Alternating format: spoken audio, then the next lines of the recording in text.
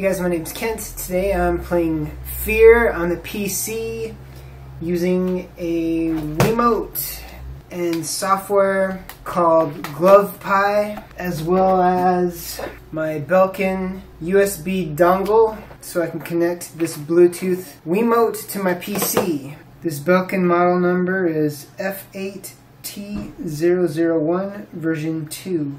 I'm on Windows 7. I don't believe I had to install any sort of software as far as Bluetooth drivers go for this. I just had to get GlovePIE and a good script for it. A script is like a text document full of code. It allows you to control your P your mouse and your keyboard in PC games with the Wiimote and Nunchuck. It's kind of a pain in the butt to like edit them, but what's cool about them is that you can share them and you can get other people's scripts that they wrote for specific games and you can customize them and make it just the way you want.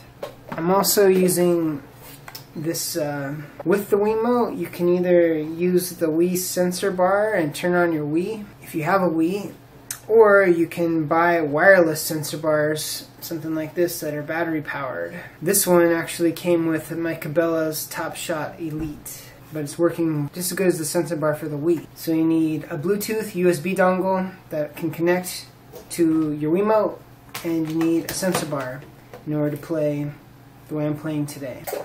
There are some GlovePIE scripts uh, for first-person shooters that use the Wii Motion Plus,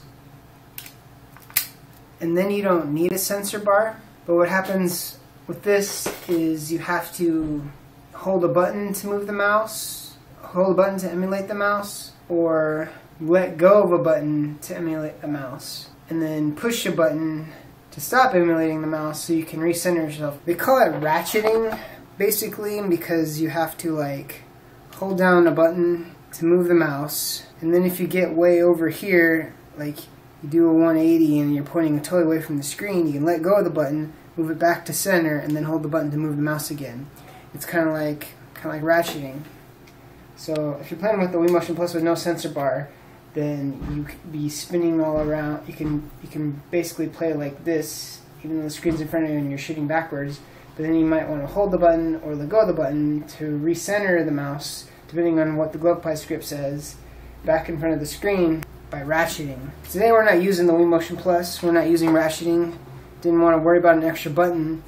We're using a script that has a dead zone. I've gone through a lot of first person scripts, and I think this is probably my favorite one. But basically, this is sensing the sensor bar, and if it gets, the way this script works is if it gets on the edge of the sensor bar, then it's going to keep moving the mouse to the left, to the left, to the left, constantly until I get off of the edge of the sensor bar and I go back into the middle of the sensor bar. Same way with the right, same way with up, and down. Basically, this works just like it would on a Wii game, just not quite as polished, not quite as good. Anyways, try to demonstrate how it works. Maybe you're asking yourself, why don't I just play with the mouse and keyboard? Why don't I just play with the joystick? Well, I have bad wrists, and my wrists get sore from playing this way as well, but it's fun to change it up, and it's good for my wrists to change it up as well.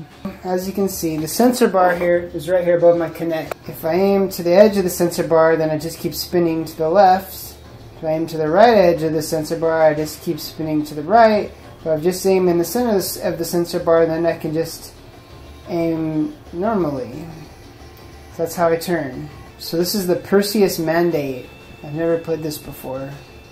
I'm having a lot of fun playing it today. There's not that many buttons on the Wiimote and Nunchuck because they want you to use the motion stuff, and I'm trying to use the shake Nunchuck to turn my flashlight off and on so I can't shake it too much, otherwise it'll just it'll flicker it off and on. It takes some getting used to, but I like to play it because if I'm, my wrist gets tired of using it this way, then I can switch and play it left-handed and give my right wrist a break and have more variety. And I'm lost, of course, because I put this down for... Oh, oh!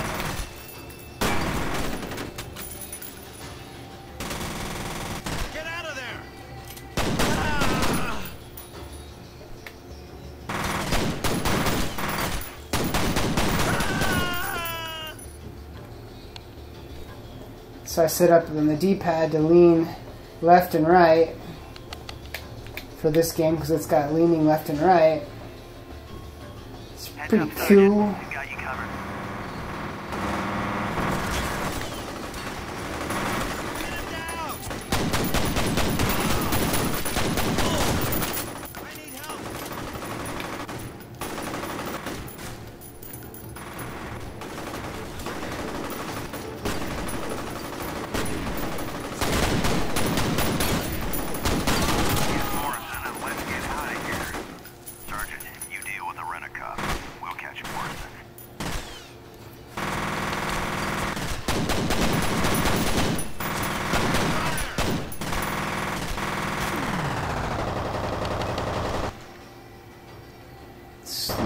Motion into the fog.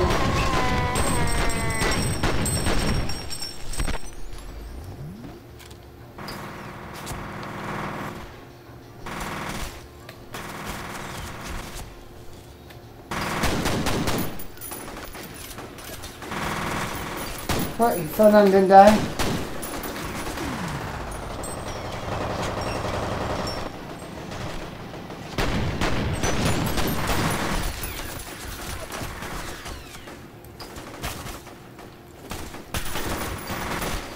So smoky, I can't see nothing.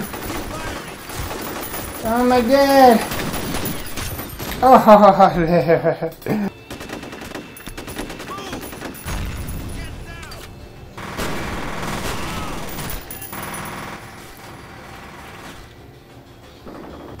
I can sure do without so much smoke.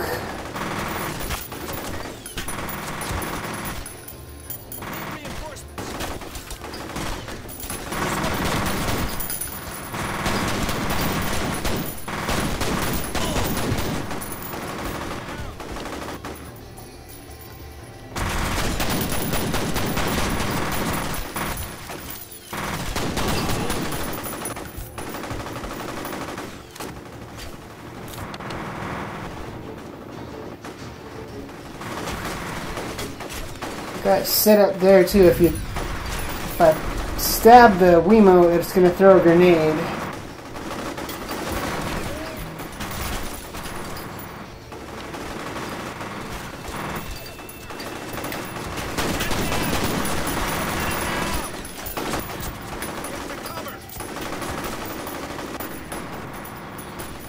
Can't see nothing.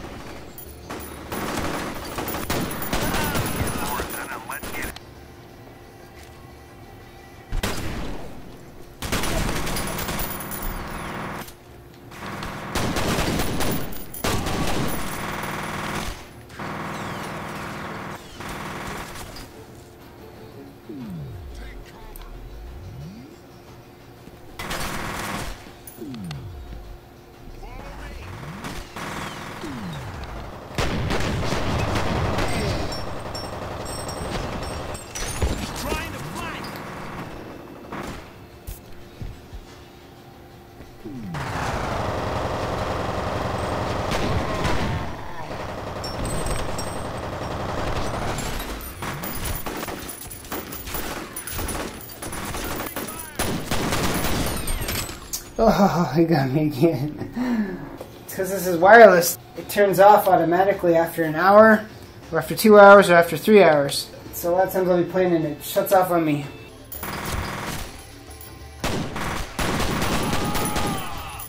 So, if you want to sort of experience what it's like to play with the Wii on your PC, you can do this, or you can get the Dolphin emulator and play some Wii games on your PC if your PC is fast enough. I'll leave the software and my script that I've been using in the description. And thanks for watching, and we'll see you next time.